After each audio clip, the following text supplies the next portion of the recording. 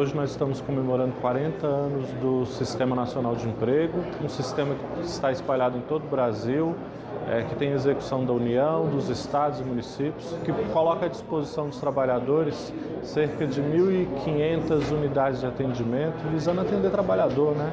Nós estamos é, numa realidade, um, um, cenário em que o desemprego é, está mais acentuado, é, o sistema de emprego tem uma importância fundamental. Né? Nós temos realidades ímpares de trabalhadores que, na medida que, para dar um grau de satisfação para suas famílias, chegam em algum momento a estarem sentados durante oito horas numa agência de emprego é, para dar satisfação para a família, para dizer que basicamente está procurando emprego. Então, o sistema tem um papel fundamental de atender esse trabalhador que está em desalento, né? É, são cerca de 5 milhões de trabalhadores que corriqueiramente todo dia estão buscando emprego e tem como referência as, as nossas unidades de atendimento.